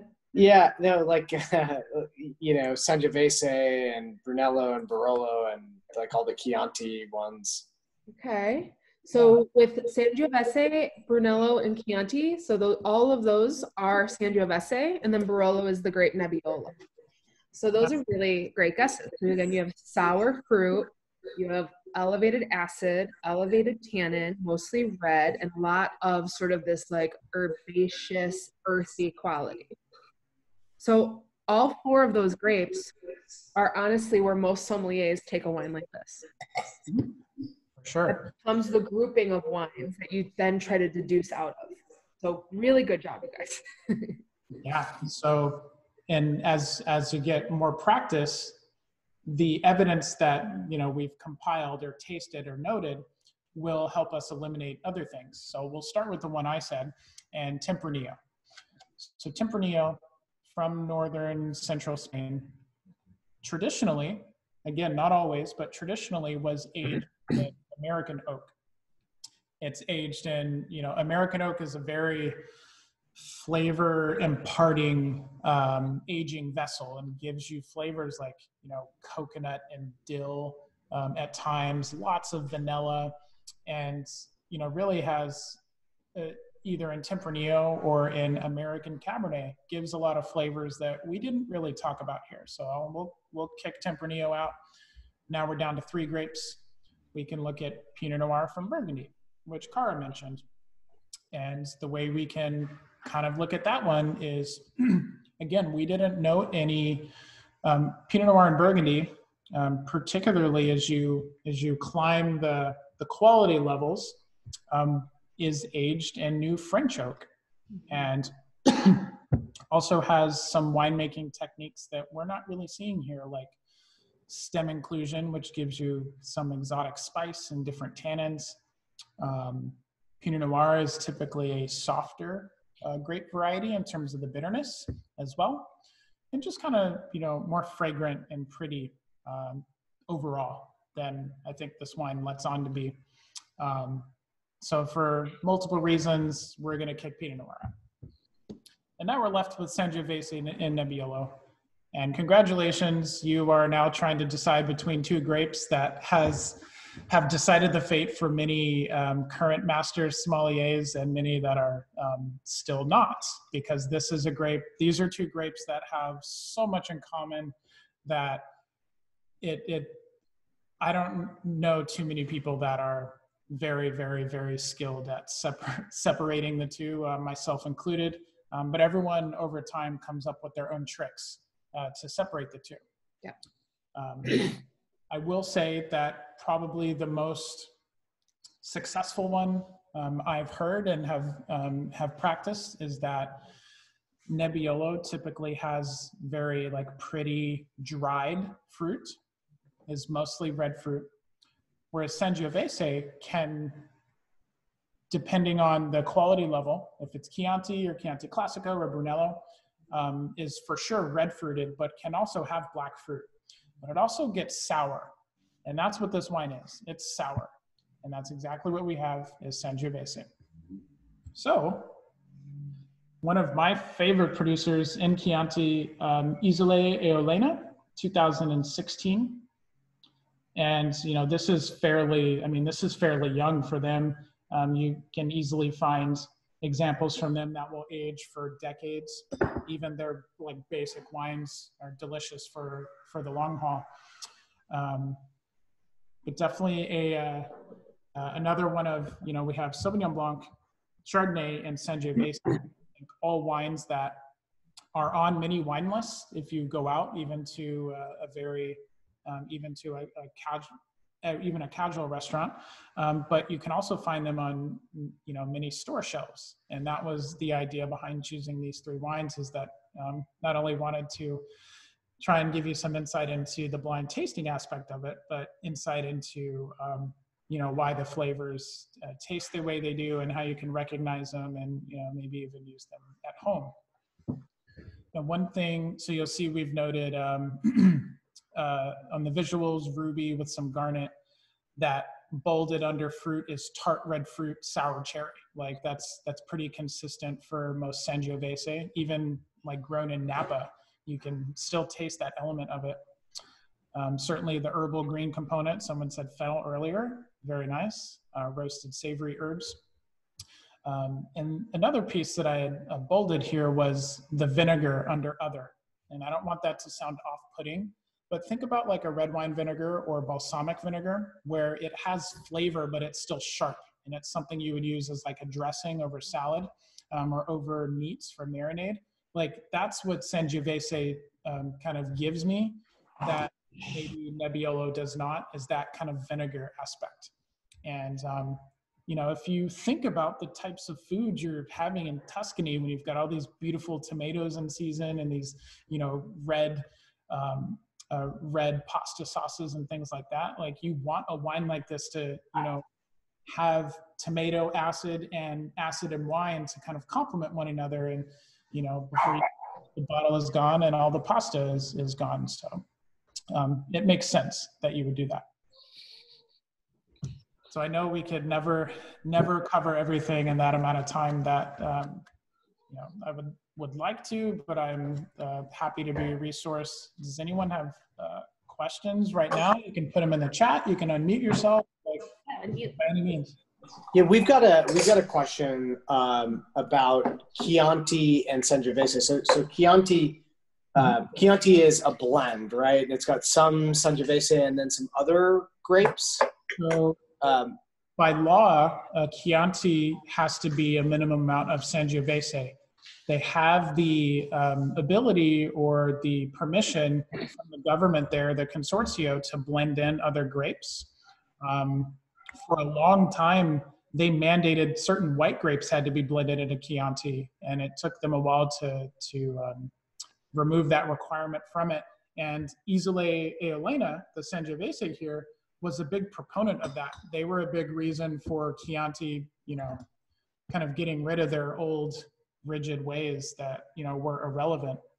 Um, but yes, as you go from Chianti to Chianti Classico, and then if they have a sub-region on the, the label like Rufina, um, and then getting to Brunello, which is 100% Sangiovese, um, the, there's an increasing requirement for more Sangiovese.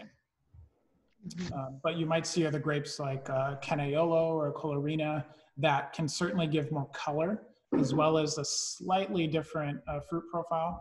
But in terms of the more prominent producers, most are, you know, they're mostly Sangiovese with just a touch of other grapes, if any.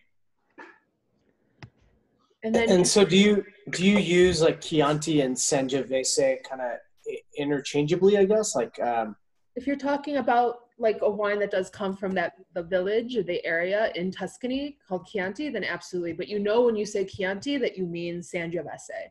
You just say similar like with. Brunello. Brunello is Sangiovese as well, but it's typically Mhm. 100% Sangiovese, and it tends to be aged longer and um, Yeah. it's a different clone that tends just to be a little fuller body. So you usually see Brunello di Montalcino or Rosso di Montalcino, which is Sangiovese from the village of Montalcino, also in Tuscany. Those ones tend to be so very expensive. Um, Mhm.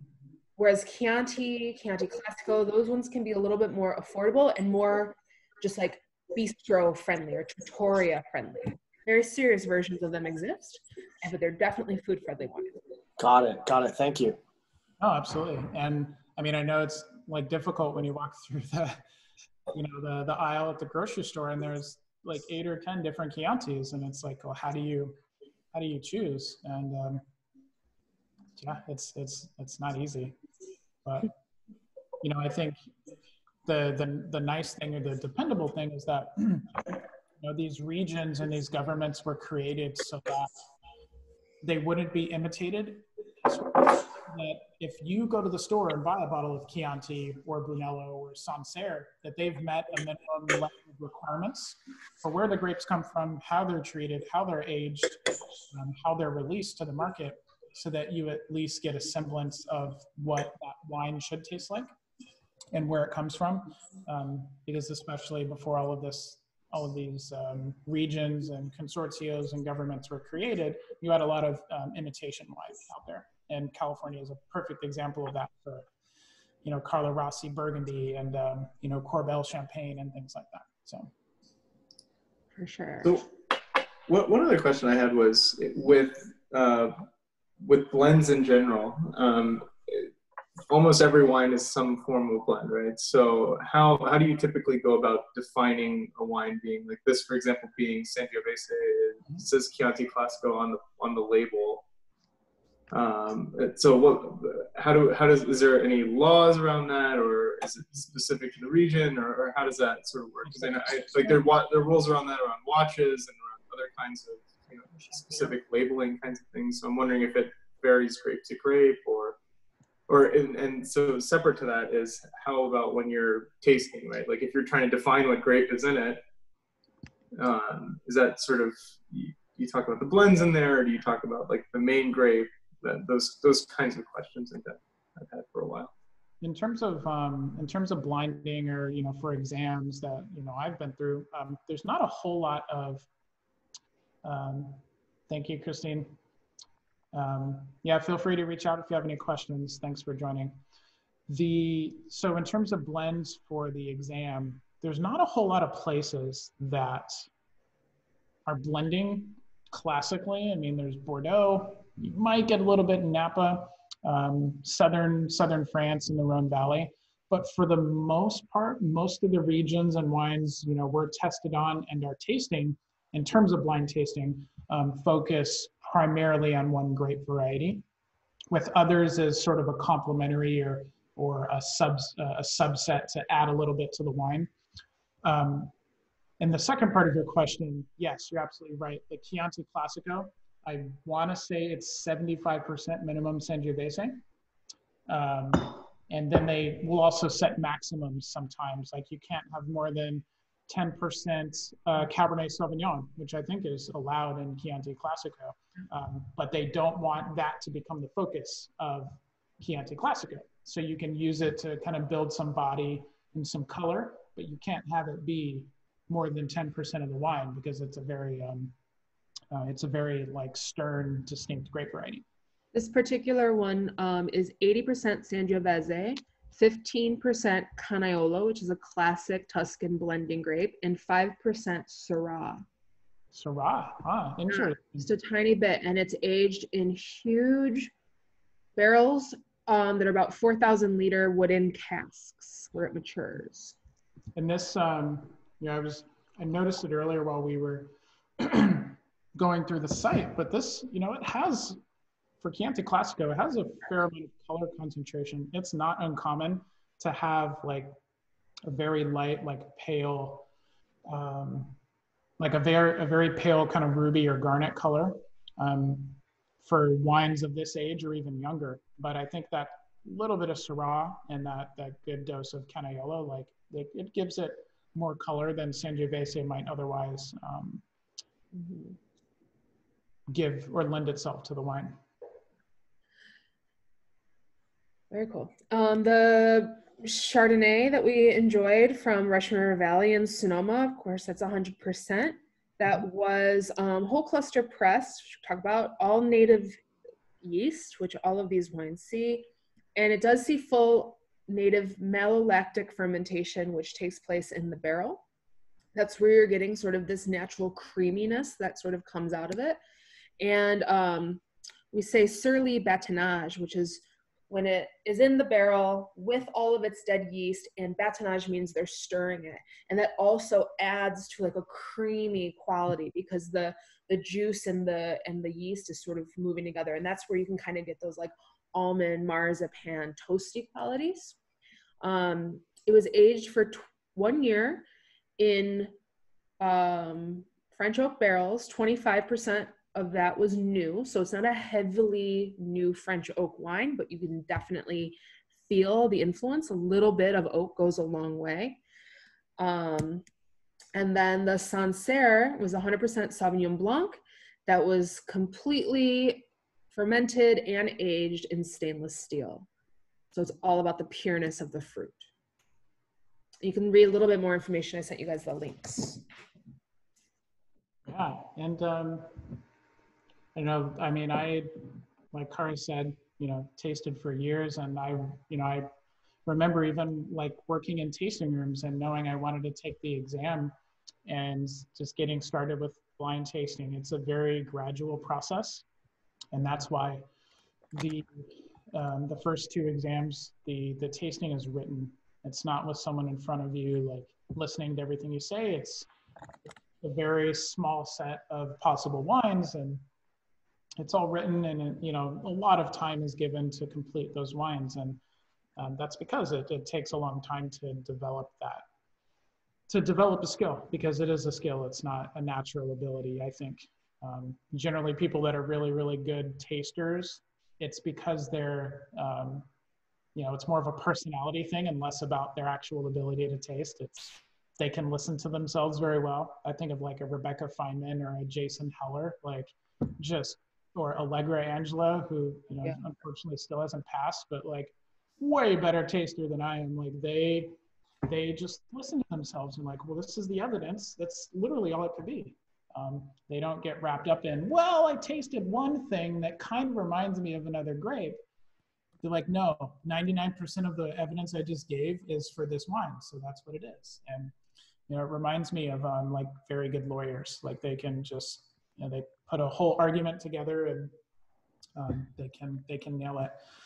But, uh, uh, my point is it, it, takes it takes a long time and you know what i hope we at least provided uh, other than some insight into into what it takes is just kind of dispelling some of the myths and and uh, i wouldn't say elitism but just like you know wine is supposed to be fun it's supposed to be shared and um, yeah we we blind things for fun but it's more about um, having a conversation and and getting together and not don't be afraid to be wrong or to take a guess because that's that's how you learn can tell you how many wines I've gotten wrong in order to get enough right to pass.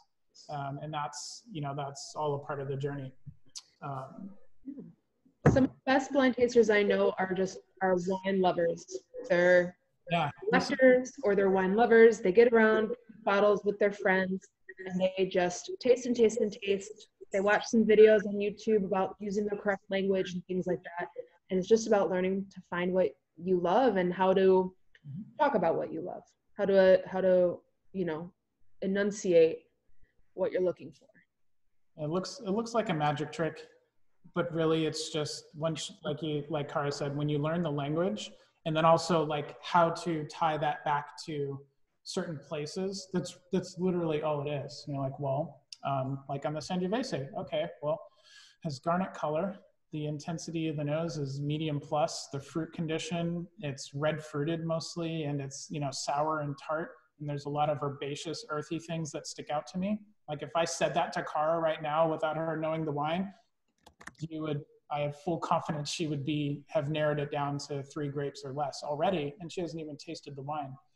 And it's an interesting exercise we used to do with friends that one person describes the wine they're tasting, the other person just listens, and oftentimes the person listening gets it right more than the person tasting because the person tasting lays out everything that that wine is, but then listens to some other emotion in their head and goes a complete different direction.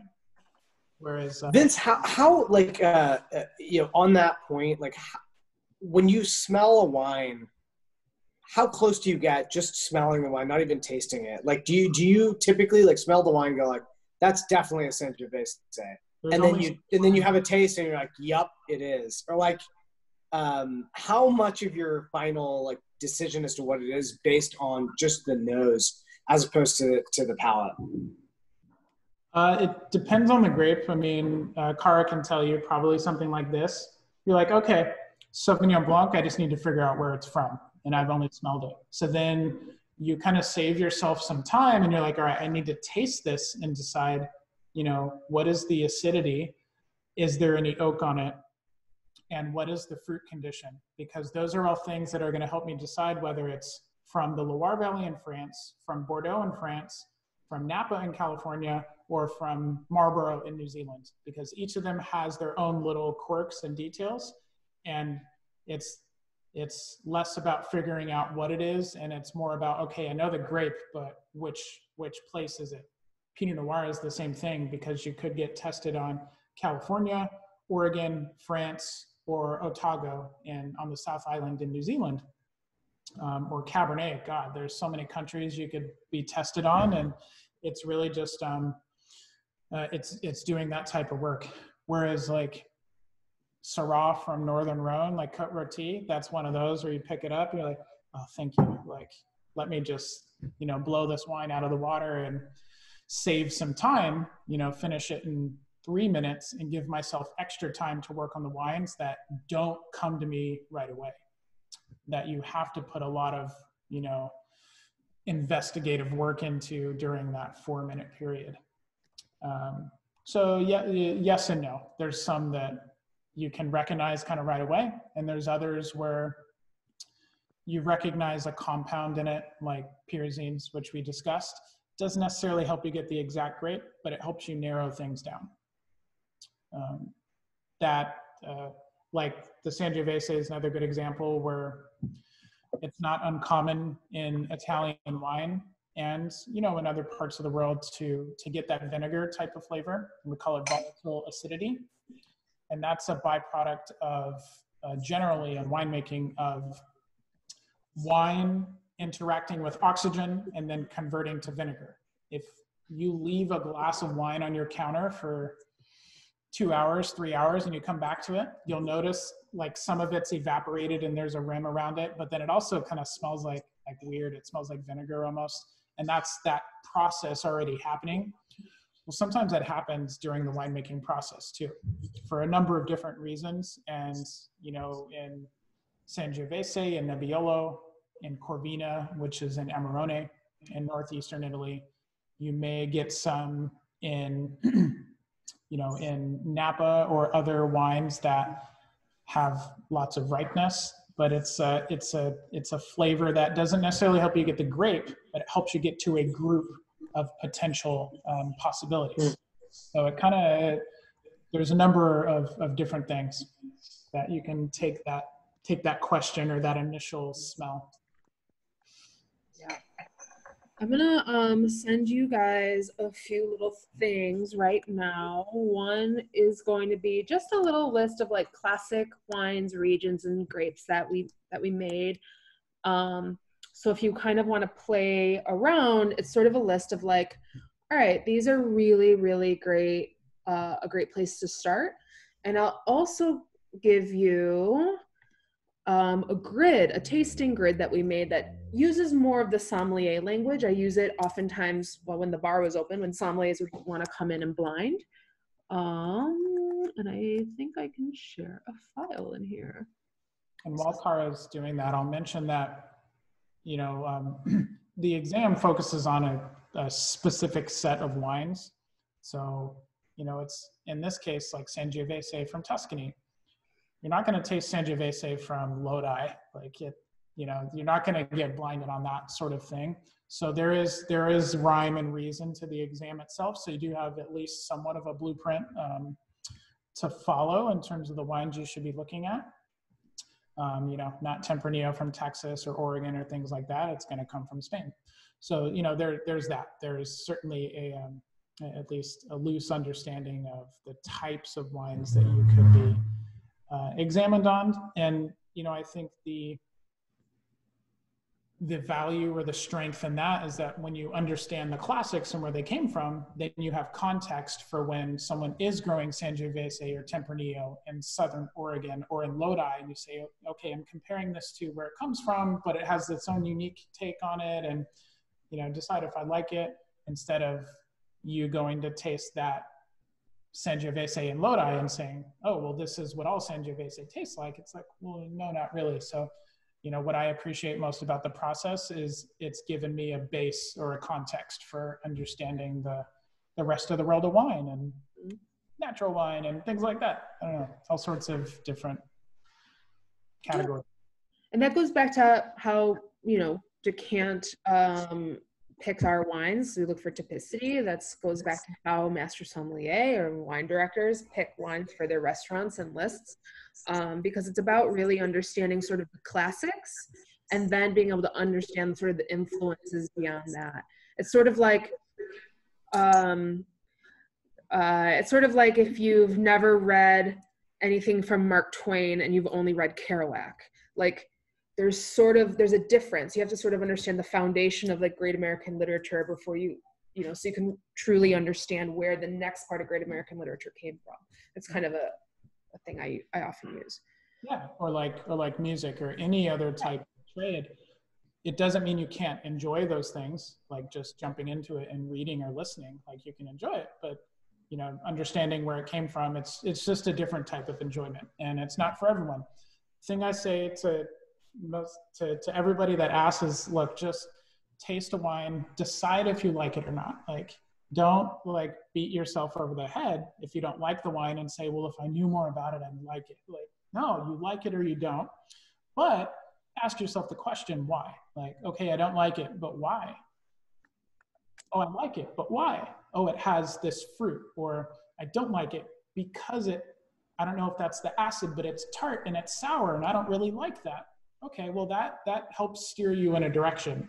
But if you just say, oh well, I like it and leave it at that, well, you may not be able to verbalize that later or find other things that you like um, or find the reason that you like it. So as long as you know you enjoy it, then that's that's all that matters to me as a sommelier. And I hope anyone that takes care of you, any restaurants that you visit, and I know Cara and Simi are very much the same. Like we just want people to be happy, whether it's you know water or wine or whatever. And um, hopefully today gave you at least some of the tools to just really describe what you're tasting and also um, beat your friends when you're at a house party blind tasting.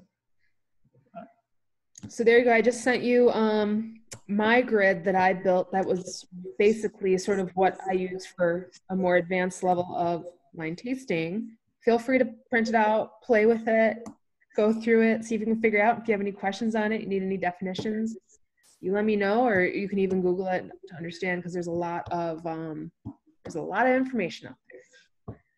Yeah, and I mean it would it would take us many many classes and many many hours and looking at a lot of different wines to build more context.